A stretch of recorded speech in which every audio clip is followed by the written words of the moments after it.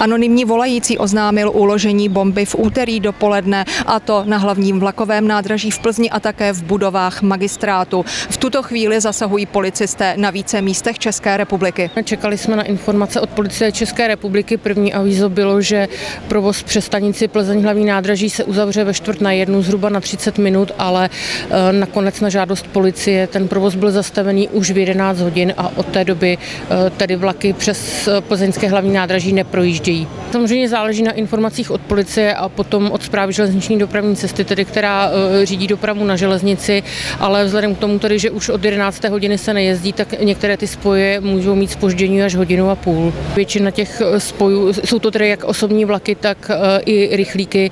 Většina těch spojů sem právě dojíždí těsně vždycky před celou hodinou a poté celé zase odjíždějí do všech těch směrů. Takže tím, že v 11 hodin ještě vlaky sem dojeli, ale poté už nemohli odjíždět, tak říkám zhruba dvě desítky spojů to jsou. Když byste zaspomínala eh, podobné, podobné zavření nádraží v důsledku takovéhle akce, bylo tady už? Pokud vím, tak aby se uzavřela eh, budova tak, že by museli odejít zaměstnanci i cestující, tak to se v Plzni nikdy nestalo. Vě, většinou ta prohlídka eh, byla za nějakého provozu, byť třeba omezeného, ale aby bylo, dá se říct, takhle hermeticky uzavřené, tak to já za posledních 8 let nepamatuju. Teď, teď nejsme, teď nejsme, samozřejmě není špička těch cestujících, není tolik, ale, ale jsou spoje, kde třeba těch cestujících může být až 300, což asi není v tuhle tu dobu, kdy to byla polovina, tak to máte 150 minimálně v tom rychlíku. V těch osobních vlacích ta kapacita je nižší. Zeptám se vás, kam jedete a jak dlouho už tady čekáte? Já jsem tady od 11 hodin a jedu na Klatovi ze Šumperka. Takže jak dlouho spoždění už?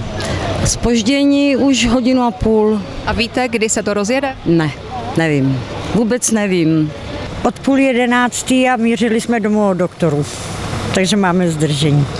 Myslím si, že to nemají lidi v hlavě v pořádku. Kdyby to měli, tak to dělat nemůžou tuto. Spoždění se v úterý popoledni týkalo nejméně 20 spojů. My jsme obdrželi oznámení, to jsme kontaktovali v zápěti policii, ta začala připravovat opatření. Dá se říct, že od zhruba 10 hodin jsme začali postupně vyklízet ty objekty a ve finále bylo vyklizeno 14, všech 14 objektů magistrátu města Plzně a to opatření trvalo zhruba do půl jedné. Je takový pokyn, že zhruba do jedné hodiny by se měli všichni zaměstnanci vrátit zpátky na svá místa. Můžeme říct, že vlastně v poslední době je to jeden z takových takových velkých případů mm, za poslední rok eh, jediný v podstatě, kdy něco takového bylo nahlášeno na magistrátu města Plzně. Kolem jedné hodiny odpoledne začali policisté do budovy hlavního nádraží v Plzni pouštět zaměstnance českých drah, pak i cestující. Policie se psy prohledávala vyklizenou budovu a vyklizeno bylo také parkoviště před ní.